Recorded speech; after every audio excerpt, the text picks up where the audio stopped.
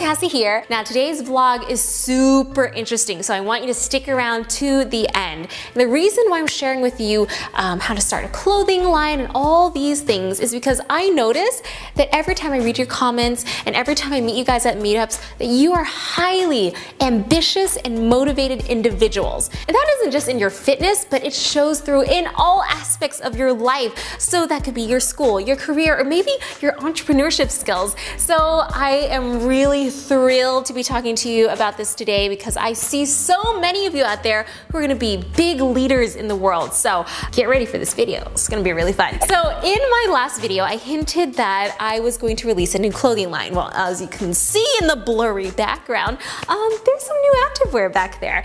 And I really wanna talk to you about this line specifically because I learned so much as a designer and as a businesswoman creating this line. So a year and a half ago, I released my very first clothing line, my very first activewear line, Body Pop.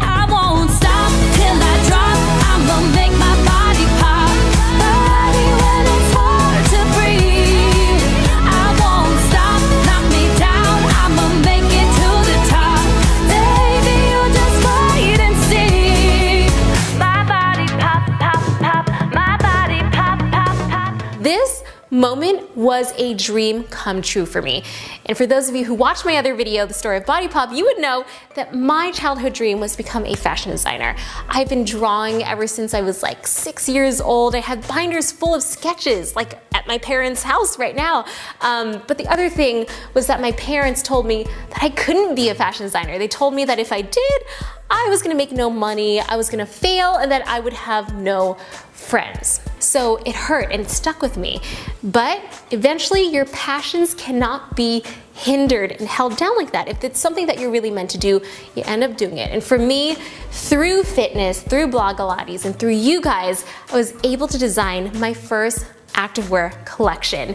And it was so cool the, the moment that I saw you guys wear the clothing on Instagram. I almost died. I mean, I didn't, but it was super, super cool. But you know what? Releasing your first collection, your first line by yourself without like a huge company sponsoring you or whatever, I think anything you do for the first time can always be improved, right? So I think um, quality could have been better. I think price could have been better. And I want to talk to you about price a little bit because one of the first comments I remember getting after I posted that I was so excited about this line was, Cassey, I can't afford this, or Cassey, how could you leave us behind like this? It's not fair, I, I can't buy this.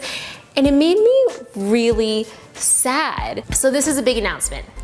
Guys, very soon I will be releasing my new activewear line called PopFlex Active. You guys are gonna be the very first to try out this activewear line because I haven't told anyone else yet. I am so happy to tell you that with this new activewear line, PopFlex, you guys are gonna be floored with how beautiful it is and with the price and with the quality. And OMG, the fabric is so soft. It feels like buttercream against your skin and it compresses your muscles and it's sweat wicking. I mean, guys, Literally so, so cool. Why is the name different and why did everything change? Well, let me tell you.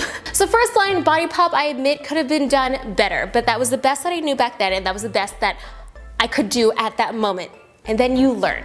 So I took the past year and a half to travel, to take meetings, to argue, to bargain, to investigate, to explore, to research everything that I needed to do to bring that price down and to bring the quality up. So many people told me it'd be impossible. They were like, well yeah, that's why people charge $120 for yoga pants. And it just didn't really make sense to me at all. I knew there was something weird. I did all my research and we ended up sourcing every bit of fabric, the thread, the trim, everything that went into your yoga pant or your bra and we are able to get that price down. Those companies out there are overcharging you for stretchy pants. I'm just gonna say it, okay? Um, as the designer and as the CEO of Pop Flex Active and all the Oh Gorgeous products that you buy, I know what it costs to create a certain product and what it costs to market it and the margins that are between that price and the retail price. And I don't want you guys to be buying into the marketing because a lot of times the luxury brands spend so much money on ads that what you're really paying for is not the actual fabric um, that they're using, you're paying for their advertisements. So just think about that, okay? And for those of you who've taken business classes, you know what I'm talking about. So now we're gonna get into the business side of things, the business side of the clothing line creation. Now this is the most interesting to me because as an entrepreneur, my mind is always buzzing. I'm always designing and thinking of ways to make life better. I mean, that's what businesses are, right? You find a problem, then you figure out a way to solve it, and then you sell it for a certain price that people are willing to pay to improve their lives. I don't know if it's just me, but I find it super interesting to find out how things are made and how things work. So today I wanna share with you how a piece of clothing starts from an idea in your head to an actual garment that's hanging on a rack in, for example, Nordstrom. So first, you have to be super inspired. And to be inspired, you give yourself a lot of space and you travel and you see things. And something that really gets you excited, that's what can be the muse and the start of your line. So for me, for this new PopFlex collection, it was ballerinas and dance and peonies and just that really romantic feel. Then the second thing you do is you take that image in your head and you put it on paper. So this is my actual sketchbook and I take it with me everywhere. I like to do these flats. These are basically images of the clothing that are pretty much laid flat on the floor. And then after that, after you get really into it and you're like, okay, I really like that one, then you can put it on a human or a fashion croquis. And this is what it looks like. And the reason why she's super tall is because we in Fashion Illustration draw according to nine heads. So technically the body is nine heads long and then there's the head on top. Next, the tech pack, one of the most grueling and mathematical parts of the entire process. Here, you lay down your garment or your hypothetical garment and you try to figure out how long is the chest band? How long is the strap for a size four, a size two, a size 12? And you try to get it as close to right as possible. Next, we get to sampling, which is the most exciting part because you finally get to see your design in your head in real life. So basically you give your tech pack to a sample maker and a pattern maker and in this entire process you also are choosing the types of fabrics that you will want to use. You have to think about how it stretches. Is it sweat wicking? Is it going to fade when you wash it? Sometimes you think that a certain color will look really good as a pant and then you figure out, eh, not so much. So I wanna share with you our Pantone blanket. Now I love this baby much because you can see all the colors that are possible in creating clothing and how it actually looks on, um, on fabric. Now speaking of other things that I had to sample that took a really long time, I don't know if you guys ever thought about this, um, but bra cups, okay? Bra cups. Bra cups are really important to me. I'm just telling you because from a girl who doesn't have that much going on right here, bra cups can really change an outfit in the way you look and the way you feel.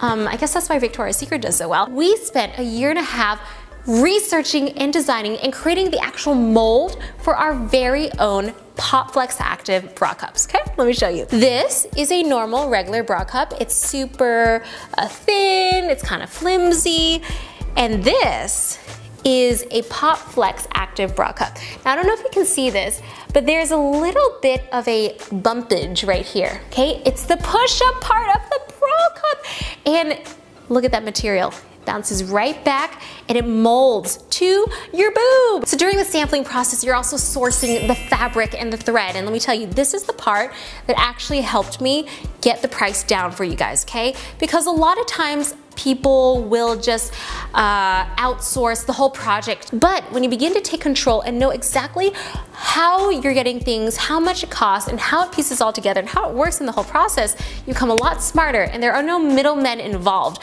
So this time around, we sourced everything from the fabric to the trim to the threads, like literally everything so that we could save you guys on cost. Choosing the right partner makes the biggest difference because you gotta choose a factory that's going to believe in your product and who has done this type of thing before because a lot of times people just wanna get your business and they'll say, yeah, yeah, I can do that, I can do that, I can do that. But if you don't look at their track record and the clients that they've worked with, um, you're gonna get kind of screwed. And I feel like that has happened to me multiple times before because I'm too trusting. But because this time we had a full-time employee overseas working with them, overseeing the project, everything for the most part went a lot smoother than last time. So to make sure that the clothing would fit a woman's body and it could withstand the craziness that you guys do when you do Blogilates workouts, well, we hired some fit models and friends to come over and have a little fitting party. So we had people try on clothes and guess what? I made them do squats and I made them do burpees, okay? Because I wanted to make sure that these pants ain't see-through and that no boobs are popping out when you're doing a burpee because that's not really cool. After all the colors and sizes and everything is approved, then you sign a contract and you're like, hey, let's do this. I'm gonna order X amount of this style and this style and this style and let's go for it. Order your bulk fabric, you have it sent over to your factory and then your talented team of cutters and sewers and uh, project managers put it together. This part is really important, okay? Because during this process where they're actually cutting and sewing your stuff, you've got to have an inspector there. You need to take control. So I made sure that my full-time employee was over there making sure that everyone was happy, that everyone was doing the thing that they're supposed to be doing, and that it stayed true to my original design, to the exact eighth inch. Then when everything is finally done and ironed, then you package it. But before you put it in the bag, you gotta put tags on it, right? And I wanna show you guys for the first time the new logo. This is the new Popflex logo that I designed a year ago on Adobe Illustrator. The lightning strike love because that represents power. I really, really like that. This tag you guys are gonna see on every single one of your garments. And then when everything is finally done and put into boxes, then you put it in a container and you ship it over to the US. And in our case, to the Oakland port, that eventually gets trucked over to the Oh Gorgeous warehouse in Fremont, California. After you get all the clothes done, you have to have a photo shoot, duh, because you want to show off that vision of how the clothing is supposed to look and how it's supposed to feel, that original design vision. And for me, this was really interesting, okay? Because a lot of times I see activewear models doing activewear things and I mean, you know, it's fine. It's normal. So for the photo shoot, I really wanted to work with a professional ballerina. Um, ballerinas just always are so magical to me. And I found this amazing girl named Kylie and she embodied everything that I wanted the line to be. She was powerful, graceful, talented, strong, and the point in her toe was like beyond craziness. So working with her and another yoga instructor and professional dancer named Jacqueline, together we created some beautiful, beautiful photos. So what happens now after your line comes over, obviously you need to sell it, right? So you create something called a lookbook. And lookbooks are in general sent to buyers and owners of stores um, who look through the book and decide to see if they want to sell your line. So guys, I want to actually share the lookbook with you, okay? This is the lookbook right here. And if you want to see all the beautiful photos that are in the lookbook and see what I'm sending to the buyers and everything, and also see the collection before it actually comes out, I want you to sign up for our newsletter on popflexactive.com. You're gonna wanna look through all the pictures and see what you like and you know take mental dibs because when that site goes live, you will want to know what to put in your shopping basket and go hard. Popsters are gonna be the first people to try it. And I am just so honored that you guys have been with me this whole time and that you trust in the products that I make, in the workouts that I create for you. Without you, there would be no Blogilates. And guys, this whole collection, it's for you. All your feedback, everything that you told me through email, through comments, through meetups, I took that into consideration and you are going to see it with this line. So guys, go to popflexactive.com and sign up for the newsletter because I really want to share this special lookbook with you that you won't be able to see anywhere else. Um, and I'll send it out a day before the site goes live so that you guys will know what you want to buy and uh, you'll have first dibs on everything. Thank you so much. I love you so much and take care. I cannot wait for you to see this. Bye guys.